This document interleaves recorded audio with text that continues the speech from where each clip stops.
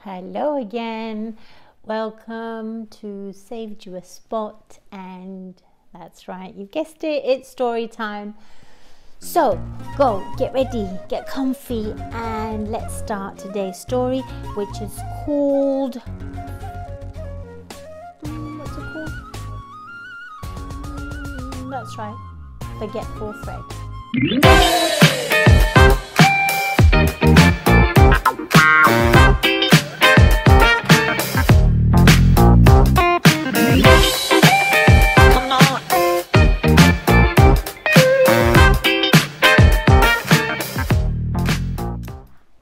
Again. so I'm glad you're here. I hope you're comfy. I'm just getting comfy myself. And today's story, as you know, is called Forgetful Fred. And we are continuing with uh, the stories from The Practical Princess and other liberating fairy tales. That's the name of this book. And as I've told you before, uh, my mum and dad gave it to me as a present when I was very, very young, uh, still in primary school, like many of you are. And I still have it to this day. I'm not telling you how old I am now, but I'm much, much, much older. and um, I hope you enjoyed it as much as I have done. Are you ready? Okay. Forgetful Fred.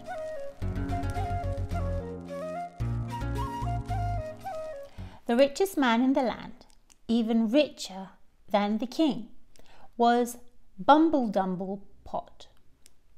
He lived in an enormous house with 44 rooms, and he had nine cooks, 12 housemaids, four butlers, 16 helpers, and a young man named Fred, who did everything that was left over.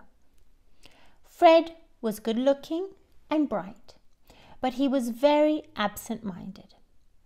This was because his head was full of music. When he should have been thinking about his job, he was thinking of songs instead. And when he should have been working, he was playing on his flute.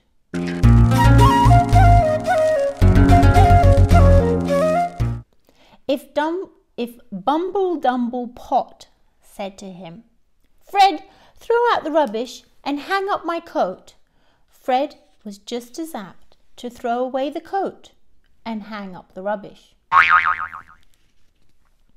In spite of this, Bumble Dumble liked him, and so did everyone else, because he was merry, kind, friendly, and always polite. One day, Bumble Dumble called together all the servants in the great hall of his house. Standing on the staircase where everyone could see him and hear him, he said, As you all know, I am the richest man in the land. Everyone nodded. They knew. You might think I'm very happy, Bumble Dumble continued, but I'm not. There is one thing I've wanted all my life, and that is the bitter fruit of satisfaction.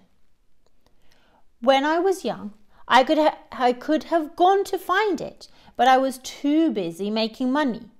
Now I am too old to make the journey, but if one of you will go and get it for me, I will give him half my wealth so that he will be as rich as I am. Everyone thought that over. At last, the youngest of the butlers said, Where is the bitter fruit of satisfaction? Bumble dum, bumble dumble, bumber dumble. Sorry, that's such a hard name. Bumber dumble looked worried. I'm afraid it is a long way off, he admitted. It is beyond six mountains and six sandy deserts, beyond the boiling river and the grimly wood. And it is guarded by a fire drake. A fire drake? What's that? Is it something like a dragon? Worse than a dragon, said Bumble Dumble, Bumble Dumble, Bumble Dumble gloomily. Much worse. Well, said the youngest of the butlers, I can't go. I have to finish my job polishing the silver. I can't go, said the chief cook. I have a wife and four children. I certainly can't go, said the oldest housemaid. I have a sore knee. And the more the others thought about the distance and the difficulties and the fire drake at the end of it, the more they thought of reasons why they couldn't go. But finally, Fred said, I'll go. You? Everyone cried. Why not? said Fred cheerfully. I haven't any wives or children. I'm healthy, and you can always hire someone else to take over my jobs. But you'll forget where you're going before you've gone a mile, said the chief butler. I will give him a map, said Bumble Dumble and he came down the stairs and clapped Fred on the shoulder. Bring me back the bitter fruit, my boy, and you will be richer than a king. The next morning, Fred set out. He had a knapsack full of food on his back, his flute in his pocket, a staff to lean on, and twenty gold pieces in his purse. He also had a map showing where the bitter fruit was and Bumble Dumble had hung his around his neck so he wouldn't forget to look, to look at it. Fred travelled for a whole long year. He climbed six high and rocky mountains, almost freezing at the tops of them. He went across six sandy deserts, almost dying of thirst. He crossed the boiling river by going to its narrowest place and jumping from one slippery stone to another and one evening he came to an old dark house that stood on the edge of a vast dark wood. He was very weary, hungry, and tattered. His money had long ago been spent. He felt as if he could go no further. He knocked at the door, and it was opened by a pretty girl with blue eyes, black hair, and a smudge of dirt on her nose. Good evening, said Fred politely, and then he dropped his staff and would have fallen, but the girl caught him and helped him into the house. There was a bright fire burning and a good smell of cooking in the air. The girl sat Fred down at the long table and put a bowl of soup in front of him. While he ate, she sat down opposite and watched him. You've come a long way, she said. Fred told her who he was and where he was going. And I have no idea how to take the bitter fruit when I find it, he said sadly, or how I shall escape the fire drake. But if you will let me stay here until I'm rested, maybe I will think of something. This isn't my house, said the girl. It belongs to the witch of Grimly Wood. She's at a witchery meeting now, and while she's away, you may certainly rest here and get your strength back. But when she returns, I don't know whether she'll let you stay, for she is the stingiest person in the world. Perhaps you can pay her in some way. All I have is some music, said Fred. What's your name? Melissa, said the girl. Then I'll play you some special Melissa music. By way of thanks, said Fred. He put his flute to his lips. His music was like the clear calling of summer birds at evening. Melissa listened and sighed. That night, Fred slept on the floor in front of the fire. The next day, he rested and played his flute and told stories about his travels and made Melissa laugh. Working for a witch, she didn't get a chance to laugh very often. She was a good cook and fed him well, and she thought She had never liked anyone half as much.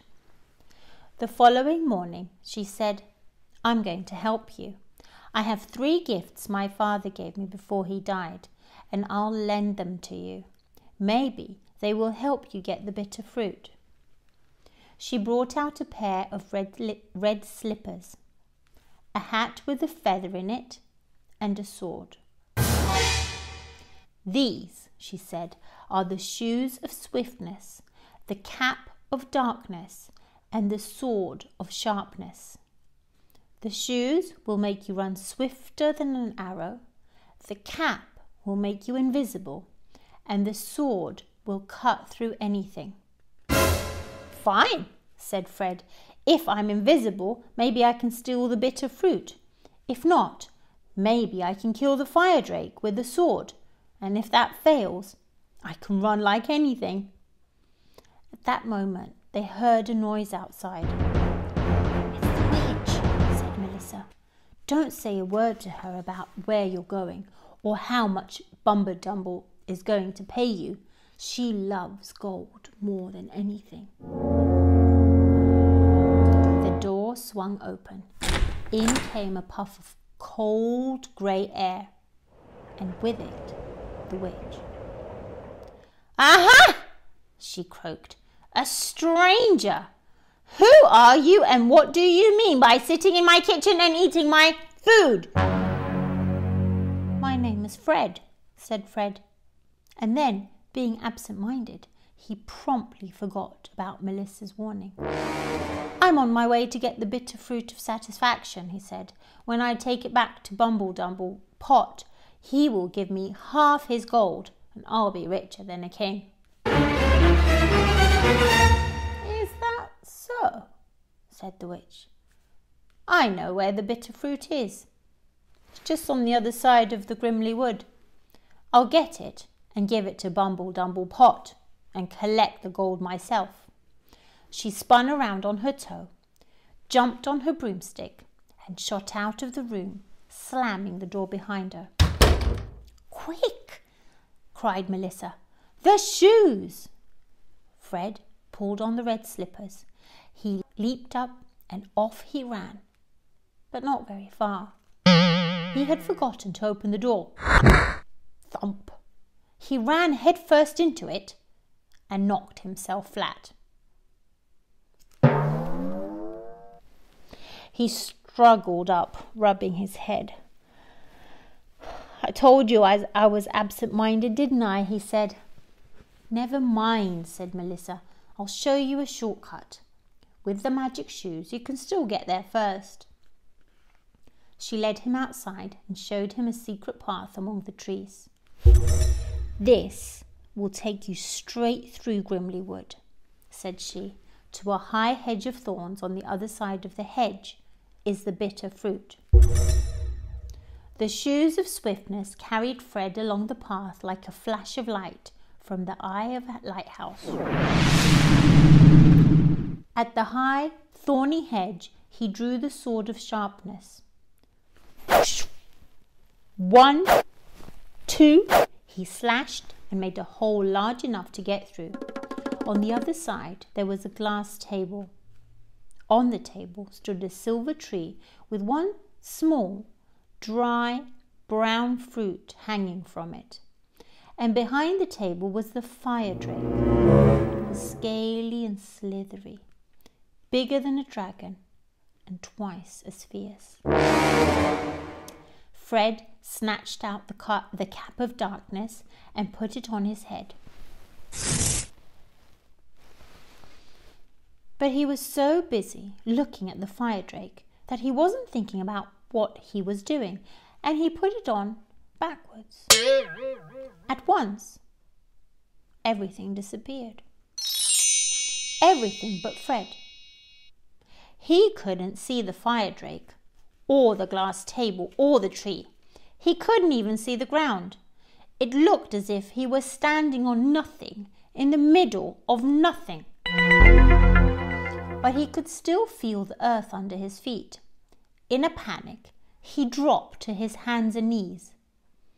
It was the best thing he could have done, for at the same instant the fire drake blew out a sheet of flame. It would have crisped Fred up like a piece of burnt toast if it had touched him, but it went right over him. Oh, he groaned, if only I weren't so absent minded. He reached up and turned the cap of darkness round on his head. Now he could see everything again. But he was invisible, which is what should have been in the beginning. He got shakily to his feet. He could see the fire drake looking this way and that in puzzlement. He tiptoed over to the silver tree. The fruit was gone. He understood what had happened.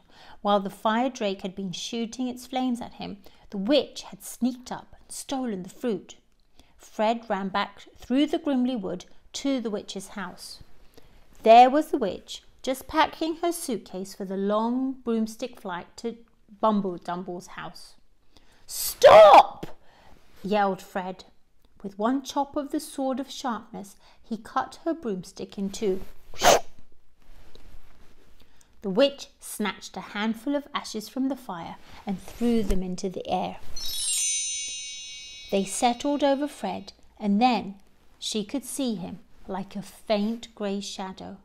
So it's you, miserable wretch! she screamed. I'll turn you into a piece of waste paper and throw you away.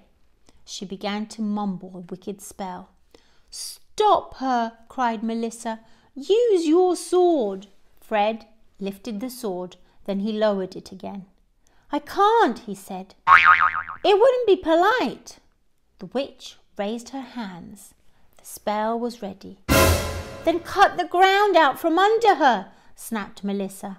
Fred whirled, whirled the sword. He sliced away the floor under the witch's feet, and down she fell. Under the floor there was a bottomless well. The witch fell into it, and that was the end of her. Fred removed the cap of darkness and dusted himself off. He handed the cap, the shoes, and the sword to Melissa. Thank you, he said. But do you know, I forgot something. What? The bitter fruit of satisfaction. I forgot that the witch was holding it. She is still holding it, wherever she is. What a shame, said Melissa. Fred scratched his head. Oh, I don't know, he said. If you will marry me, I would rather have you than be richer than a king. So they settled down in the witch's house after fixing the hole in the floor, and they were happy together. And since Fred could play as much music as he liked whenever he liked, he was never absent minded again, except once in a while. As for Bumble Dumble Pot, if he never got the bitter fruit, at any rate, he remained the richest man in the land, and that was better than nothing. Enjoyed it. Stay tuned for the next one, which is Petronella. Bye.